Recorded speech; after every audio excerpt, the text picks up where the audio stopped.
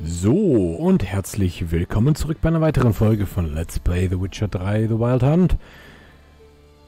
Ja, es ist nun morgen, wie wir gestern in der letzten Folge gehört haben, kommen wir besser morgen wieder. Heute ist der folgende Tag angebrochen und wir begeben uns doch sogleich mal zu der Hexe, Höchse, die wir in der letzten Folge gefunden haben. Ähm, gehe nur ganz kurz eine Stunde meditieren. Und hoffe, dass meine ja, Gesundheit wieder voll ist. Perfekt. So. Ähm, ja. Genau, in der letzten Folge haben wir ein weit, paar weitere Informationen erfahren über den Aufenthalt von Anna, beziehungsweise die Hexe, mit der sie aneinander geraten ist. Äh, das war, äh, ist dieses äh, fromme Mädchen hier, die sich da drin gerade versteckt. Und die werden wir gleich mal aufsuchen, um zu sehen, was die zu sagen hat. Super. Ähm. Ist jemand zu Hause? Okay. Rezept für schwarzen Kajal. Schwarzer Kajal im Handumdrehen. Stehen keine professionellen Produkte zur Verfügung, kann man schwarzen Kajal aus zerstoßener medizinischer Kohle herstellen, die mit frischem Eigelb vermischt und mit etwas Lavendelöl versetzt wird, um die Schadstoffe fernzuhalten. Man lagere den Kajal, Kajal etwa drei Tage lang an einem kühlen Ort und stelle dann eine neue Portion her, da die alte gewiss verdorben ist. Die übrige medizinische Kohle nehme man zu sich. Sie kann einem nur gut tun. Uppala. Okay. Ähm. Gewöhnliche Salbe. Nichts Besonderes. Okay. Okay. Warum? Eine gewöhnliche Kerze. Okay, warum ist die dann rot, also besonders markiert? Wo ist sie denn hin? Ach, nun schau mal einer guckt. Das ist ja mal doch etwas interessanter dann. Eine ordentliche Bibliothek hat sie da zusammengetragen. Mhm. Vielleicht im Waschzuber? Nein. Vielleicht ja im Keller. Man weiß ja nie. Gesellenwaffenreparaturset. Perfekt. Brot. Brot. Manuskriptseite Albedo. Okay, Manuskriptseite Gift der Erhängten.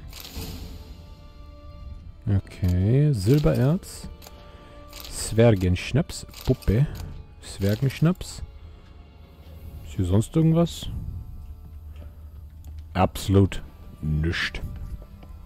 Gut. Ähm, okay. Genau, warte, die Falltür machen wir wieder. Brief an Alexander. Liebling, ich schreibe dir, weil du dich bestimmt sorgst, dass ich noch zornig bin. Aber das ist dumm. Du weißt doch, dass ich nicht lange böse sein kann. Ich verzeihe dir. Es ist nur deine Geheimniskrämerei. Ist es denn so seltsam, dass ich mich für deine Seuchenforschung interessiere? Ich liebe es, dir beim Arbeiten im Turm zuzusehen.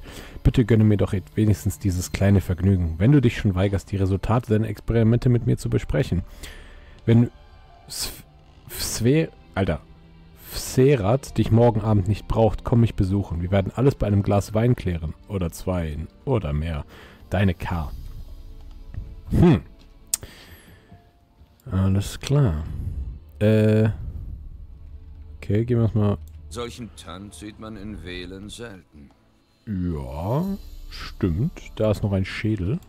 Uppala. Mächtige Aura. Muss eine Art Artefakt sein, oder... Aha. Hierhin ist sie also verschwunden. Aha, aha, aha. Na dann, speichern und ab dafür. Also, ui. So, so. Nett hier. Hm. Boah, sind die viele. Ich hab mich schon gefragt, wie lange du noch brauchst, Gerald. Ich bin oben. Nur herein. Okay. Warum nicht? Ganz schön viele Kräuter hier. Warte mal, das ist... Ich finde es so schön, wie er sich einfach nicht beeilt. Sei gegrüßt, Hexer. Aha. Mademoiselle.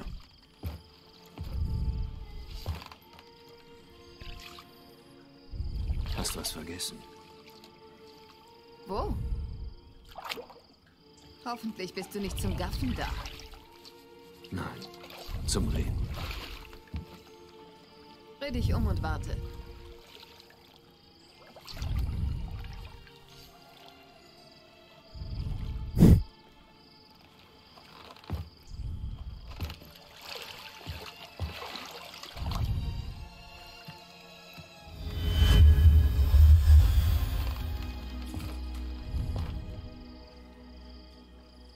Keira Metz im Herzen von Wählen.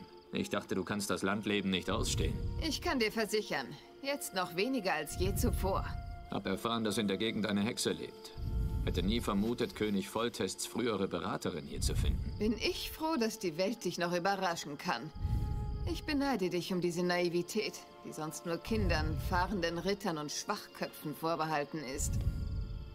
Hm, da ist wohl jemand ziemlich gereizt. Begrüßt man denn so einen alten Freund? Ich hab dich doch mit einem hübschen Anblick begrüßt. Jetzt sag mir, warum du hier bist. Hoppala. Wir haben uns schon lange nicht mehr gesehen, dann fragen wir doch erst einmal. Ich wette, du kannst dir die Frage denken. Was machst du hier?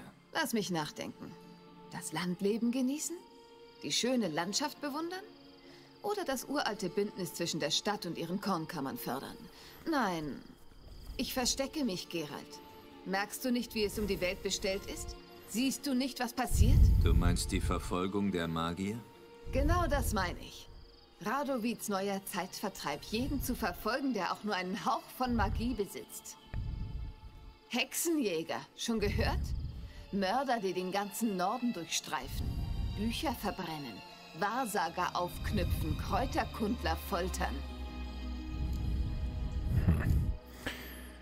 Aber warum wählen von allen Du hast Bereichen? einen seltsamen Ort als Versteck ausgesucht. Nicht ausgesucht. Im Norden machen Radovids Männer Jagd auf Zauberinnen, als sei es ein Kinderspiel. Nilfgaard kontrolliert den Süden. Wohin sollte ich fliehen? Der Imperator hält die Magier an der kurzen Leine, aber er lässt sie leben und ihrem Handwerk nachgehen. Radovid und Emhir unterscheiden sich in allem, außer in einer Sache. Sie hassen die Loge der Zauberinnen zutiefst. Und ich war ihr Mitglied. Und das wäre auch nochmal ganz interessant. Wie fühlt es sich an, die Dorfhexe zu sein? Schrecklich. Ist es nicht großartig, den grenzenlosen Respekt und das Vertrauen der Bauern zu genießen? Sie würden jeden respektieren, der Hämorrhoidensalbe herstellt. Du bist schon länger hier, nicht? Lang genug, um allmählich zu verrotten. Du kannst dir nicht vorstellen, wie sehr ich diesen Ort verabscheue. Na gut, aber genug Zu geschnackselt. einem anderen Thema. Gibt es Neuigkeiten von deinen Schwestern aus der Loge? Nein, heutzutage dürfen wir nicht viel über die anderen wissen. Ist sicherer so. Habt ihr nicht mal versucht, Kontakt aufzunehmen? Ich wollte es, viele Male. Aber ich kann nie mit Sicherheit wissen, wer mir antwortet. Oder zuhört. Na gut, aber äh, zurück zum Thema. Ich suche nach einer gewissen jungen Dame. Ach, wirklich? Nach wem?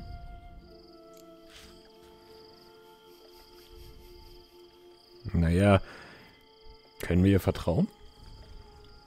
Weil was kann sie mit der Information anfangen? Ich glaube nicht, dass sie die an die wilde Jagd aushändigen würde.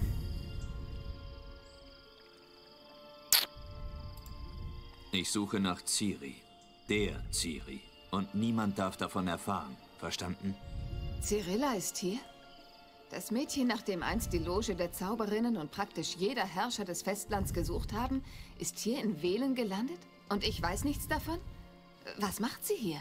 Anscheinend versteckt sie sich vor jemandem.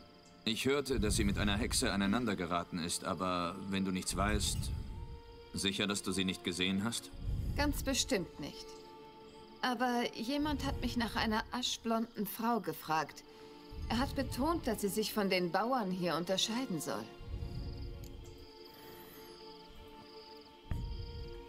Erstmal wichtig ist, wer das überhaupt gefragt hat. Wer war das? Nicht so schnell, Gerald. Keine Bitte? Keine milde Gabe für eine Hexe?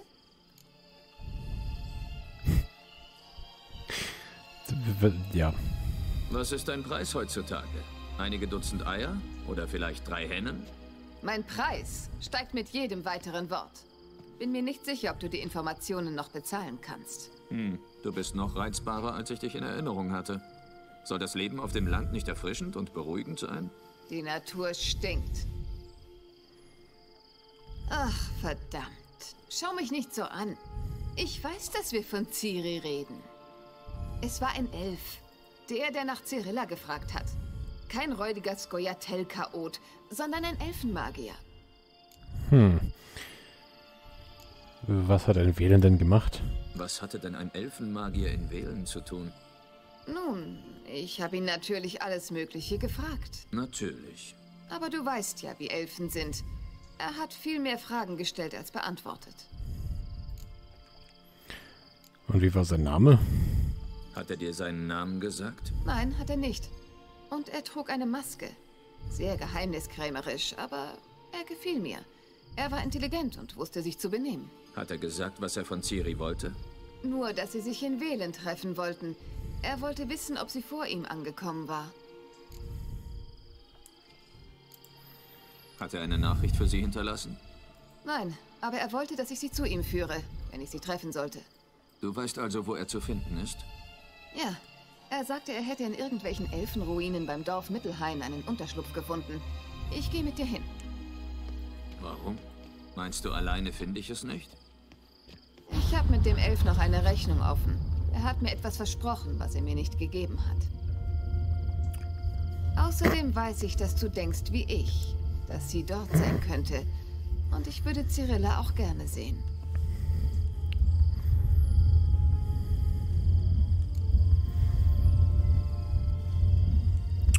Ja, ich bin bereit. Brechen wir auf. Ja, los geht's.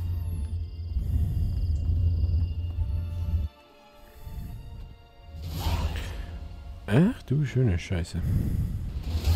Da wären wir. Warst du schon mal hier? Nein. Ich hatte gehofft, der Elf würde zurückkehren, wie er versprochen hat. Oder wenigstens sein Mündel. Ich habe jedenfalls keine Ahnung, was ich von diesem Ort erwarten soll. Nun, finden wir es raus. Na dann. Na los! Speichern und auf geht's. Vella Glan! Weller, klar. Der Obst. Nam, nam, nam, nam, nam. Also ein Lichtzauber. Kartoffelbovist. Ui. Ähm. Die wilde Jagd. Was? Phantomreiter? Das heißt, ich dachte, es gäbe sie nicht. Dann richte deinen Blick auf das Nicht-Existente. Sie haben einen Navigator bei sich. Einen was? Kannst du uns auf die andere Seite teleportieren? Ich würde uns lieber nach Hause teleportieren. Willst du denen wirklich folgen? Teleport. Beeil dich. Weiß nicht, ob mir das alles zusagt. Gerald ist aber ein rauer Zahn. Ich höre jetzt schon Ertrunkene. Lecker, lecker, lecker. Na dann. Fertig. Folge mir. Auf wie geht's sie? Verdammte Portale. Ich frag mich, wo Keira jetzt ist. Na, das wäre mal wirklich interessant zu wissen. Schnetzeln wir uns erstmal hier durch diese Brut hier durch. Ey, geh aus dem Stein da raus.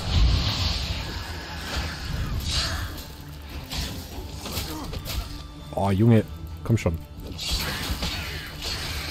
Geh mir nicht auf die Eier. Okay. Äh, der hat was fallen lassen. Okay, wir haben... Muss mal kurz gucken. Äh, ja. Wir nehmen auf jeden Fall das Gesellenwaffenset und reparieren unser Silberschwert. Das ist 97, das ist 90. Das ist okay. Speichern. Ah, du Scheiße. Und ab ins Wasser. Äh, C? Ja. So, komm, Gerald, mal ein bisschen hurtig, spurtig. Bevor du noch ersäufst. Okay. Na dann.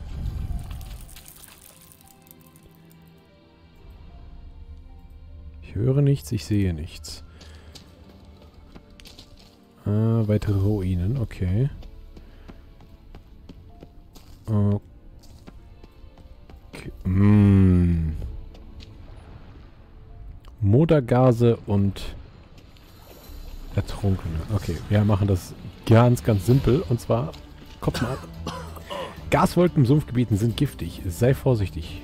Hier siehst du alle temporären Effekte, die gerade auf deinem Charakter wirken. Ja, ich weiß, die sind giftig, aber auch... Scheiße. Entzündbar. Ja. Man sollte vielleicht nur nicht drinnen stehen.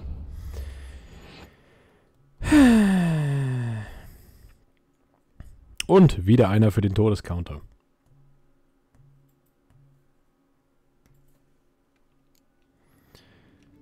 Und genau aus dem Grund habe ich gespeichert. Ach, verflixt und zugenäht nochmal. Okay. Dann das Ganze nochmal.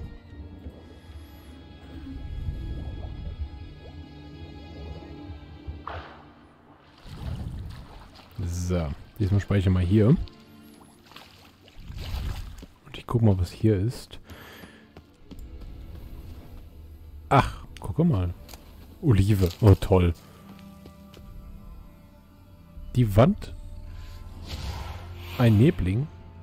Die Wand kann ich doch bestimmt mit Art einbärschen. Mir keine Wahl. Oh Junge, es sind auch noch mehrere. Hahaha. Dich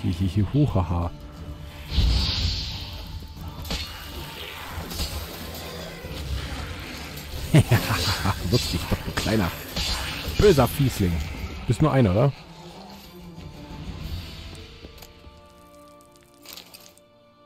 Okay. Äh, erstmal kurz ein Stündchen meditieren. Und dann gucken wir mal schnell. Ähm, Geister. Nein. Bestien? Nekrophagen, oder? Neblinge. Wenn einen, im, wenn einen im Sumpf die Nacht überrascht, bleibt man, wo man ist und erwartet den Morgen ab. Und zwar auch dann, wenn man bis zur Hüfte in Egel, egelverseuchtem Wasser steht. Am wichtigsten ist, wer im Sumpf ein Licht sieht, darf niemals, und ich unterstreiche, niemals darauf zuhalten. Johannes Stroth, Reiseführer. Nebel ist der Feind des Reisenden. Im Wald lässt ihn den Weg verlieren, auf See schickt ihn in die Klippen. Doch solche Gefahren sind nichts im Vergleich zu den Monstern, die als Neblinge bekannt sind und die bisweilen in Nebelbänken lauern. Diese Kreaturen besitzen so kräftige Arme und Klauen wie serikanische Kinyals. Doch es ist ihre Fähigkeit zur Täuschung und Verwirrung, die sie so gefährlich macht. Oftmals müssen sie gar nicht angreifen, sondern treiben ihre Opfer einfach in den Wahnsinn oder in die Sümpfe und warten dann geduldig deren Ertrinken ab. Alles klar. Was haben wir denn da? Seide. Oh, toll. Ich dachte wenigstens ein tolles Schwert oder sowas. Hm, na gut. Ich speichere nochmal. Okay, hier können wir uns wieder durchbashen. Ach, und dann kommen wir hier raus. Also sind wir quasi einmal komplett drumherum gelaufen. Damit kann ich leben.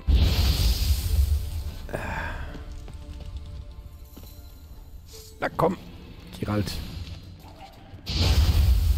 Okay, es hat nicht funktioniert. Ich dachte, ich könnte damit noch erwischen, aber leider nicht. So. Der hat was. Der hat was. Der hat was. Danke. Okay. Keira. Ja. Achso, ich dachte, der hat jetzt gefunden. Ähm. Floren und Öl. Okay. Ja, ja, ja. Wo? Da unten, oder? Da drüben.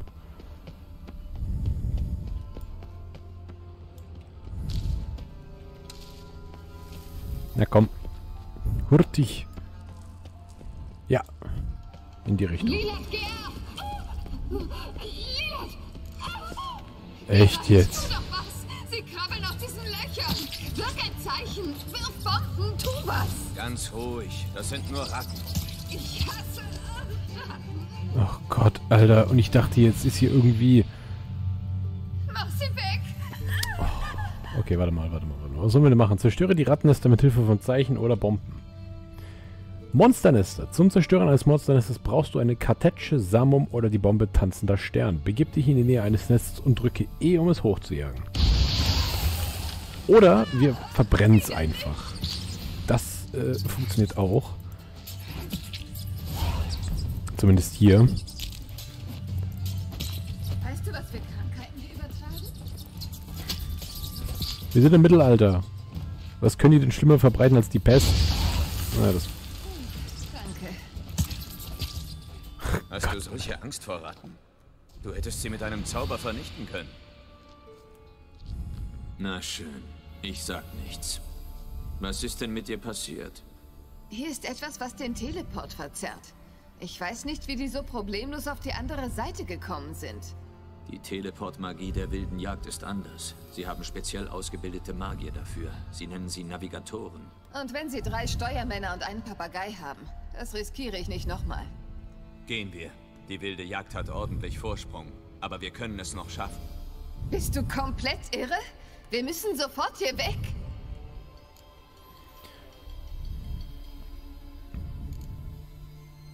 es egal ob mit deiner Hilfe oder nicht.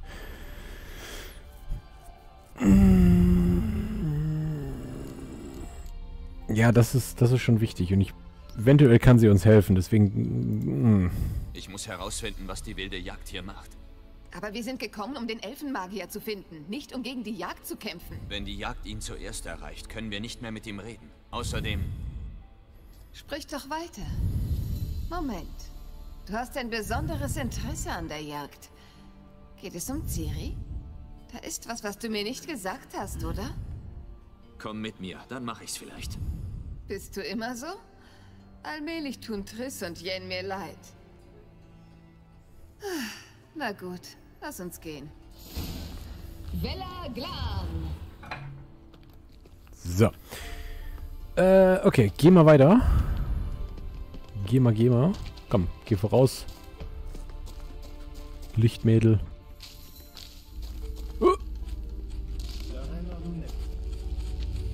Valvente, Larena Lunette, Das ist der... Das ist der Elf. Gledif, Was war das? Eine Illusion? Nein, eine morphotische Projektion. was für ein Ding? Upsala. Was für ein Ding? Was für eine Projektion? Sowas wie ein Briefkasten für Magier. Viel sicherer als ein gewöhnlicher Brief, den jeder auf dem Weg zum Adressaten abfangen kann. Okay. Äh, aber es war bestimmt eine Botschaft für Ciri, nicht? Die Nachricht war eindeutig für Ciri, Tochter der Möwe, Lara Dorrens Erbin. Tatsächlich. So würden die Elfen Ciri nennen. Aber was war das mit dem Zeichen ihres Schwerts? Ein Rätsel? Ja, aber kein schweres. Nicht, wenn man weiß, dass Ciri ihr Schwert Zirael genannt hat. Schwalbe. Bitte. Wer außer dir sollte das wissen? Das könnte der Punkt sein. Dein Elfenmagier hat die Passage gesichert und so versteckt, dass nur Ciri sie finden konnte. Er sah nicht voraus, dass jemand wie du auftauchen könnte. Trotzdem hat er ungebetene Gäste erwartet, schätze ich. Und einige Vorkehrungen getroffen. Hoffen wir, dass die wilde Jagd ein paar Probleme bekommen hat. Na dann mal los. Meinst du, es reicht, den Schwalben zu folgen? Abwarten. Erkunde die Ruine und folge den Schwalbensymbolen. Na dann, uppala, da oben war doch gerade eins, oder? Genau. Da oben haben wir schon mal eins. Dann folgen wir dem doch gleich einmal. Ein alter Elfenhafen? Sie sind wohl über das Meer gekommen. Wie lange das her sein mag. Kommst du? Ach du Scheiße. Erscheinungen. Vorsicht, dieser ölige gelbe Dampf ist giftig. Ich brauche Na, von dir Schmackofatz. Ich lasse die Fußmorchel auf so ein. Wesemir hat mir mal erzählt, dass er Igni an solchen Pizzen ausprobiert hat, als er es gerade gelernt hatte. Ganz schlichter Einfall. Und dann? Tja, hat's überlebt. Und Wunden heilen bei jungen Kindern im Handumdrehen. Komm weiter. Da lache ich doch. Ja, ja, ja, ja, ja.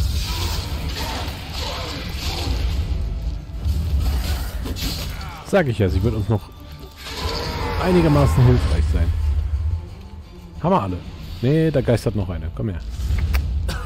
Putti, putti, komm her. Ah, scheiße. Oh,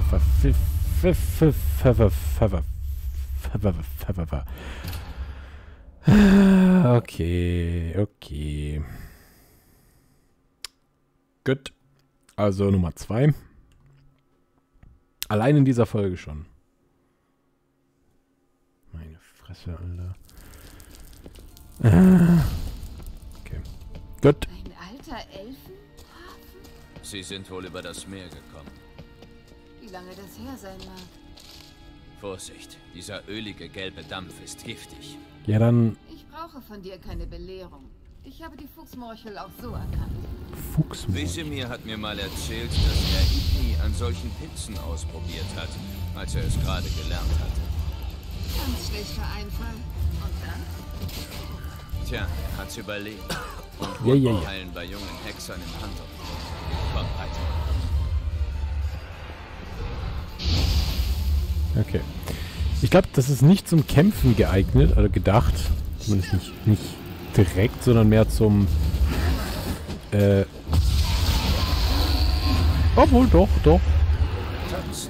Wenn man vernünftig, äh, wenn man äh, äh, äh, vernünftig mit den Pilzen umgeht, dann, dann doch. Also steht man ja selber in der, in der, äh, in der Wolke und wird von dem äh, äh, explodiert. Quasi so. Ihr wisst, was ich meine.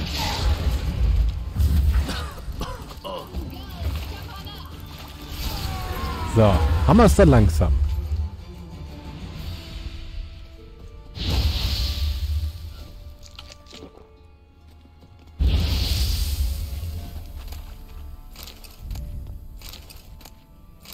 So.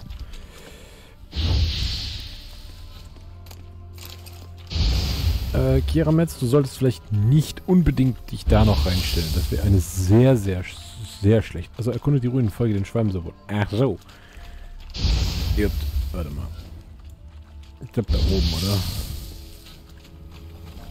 Durch so. Vielleicht hier? Eine Schwalbe. Wir sind offenbar richtig. Ah ja, doch, passt. Yep.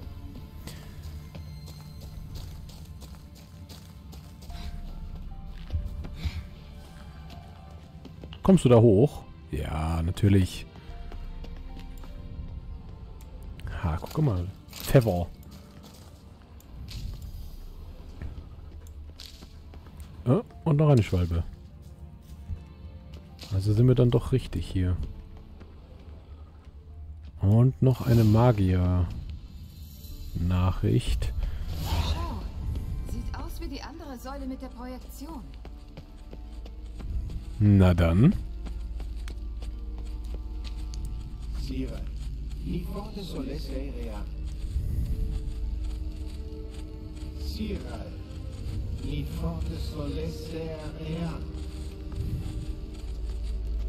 Einsille Kelpje.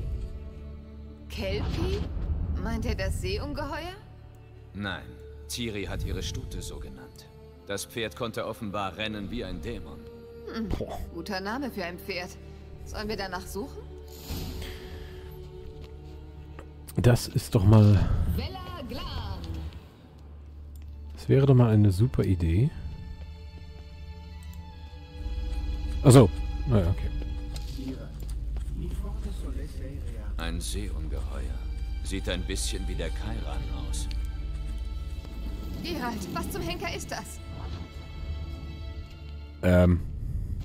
Eine weitere Sicherheitsvorkehrung. Verflucht nochmal.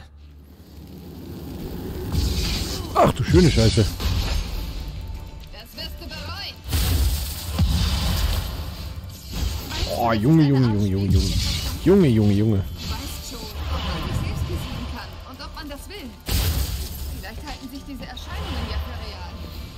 Tut mir leid, ich kann deine Zweifel nicht teilen. Ich weiß genau, welche von euch echt ist. Ja, fast. Vor einer Weile hat mal ein Doppler versucht, meine Gestalt anzunehmen. Ja, und? Er fand es scheußlich. Hat sich nicht wohlgefühlt. Doppler sind gutherzige Wesen. Okay. Ähm. Gut. Aber wir suchen ein Pferd. Aber ich sehe bis jetzt noch kein Pferd.